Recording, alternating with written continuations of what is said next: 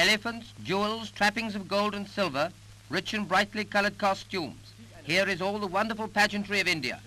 It is a procession through the streets of modern Calcutta, a parade that is, has its climax in the ritual of worshipping of the gods in centuries-old temples.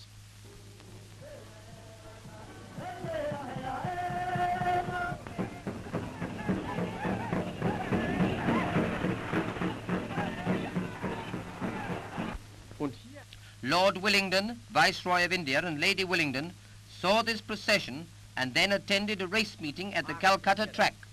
They drive in state down the course, attended by an escort of Indian cavalry.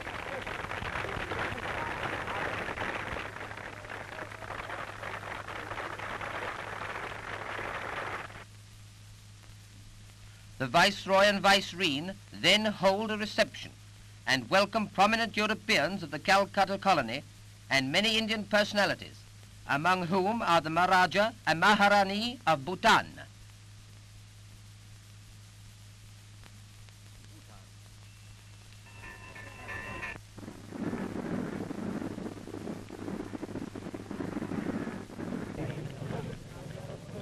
Like the crowd, the Viceroy gets a thrill at this fine race for the Viceroy's Cup, one of the classics of the Indian term.